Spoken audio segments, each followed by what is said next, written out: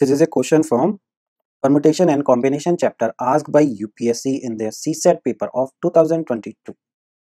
In a tournament of chess having 150 entrants, a player is eliminated whenever he loses a match. It is given that no match result in a tie or draw. How many matches are played in an entire tournament? So the question is saying like this is a knockout kind of game, right?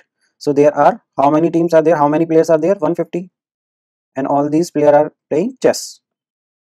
And there is no match is draw or tie right?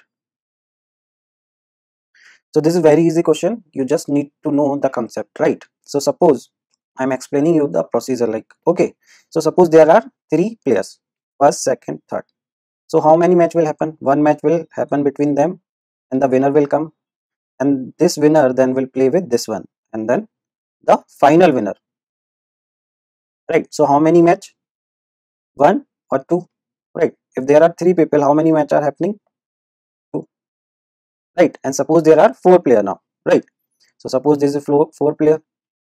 Now this winner will play with this one. And then the final winner will come. So how many match are happening? First second third. So if there are how many player four player then the match will be three right so similarly if you will see the match are one less than the number of player right so the number of match will be how much? If suppose there are n players, so the number of match will be n minus 1. Right. So in this case, in the given question, there are 150 entrant. So the matches will be how many? 150 minus 1. So 141. So the answer is option C. Right. So 150 minus 1 will be 149. So the total match will be how many? 149. So the answer is option C.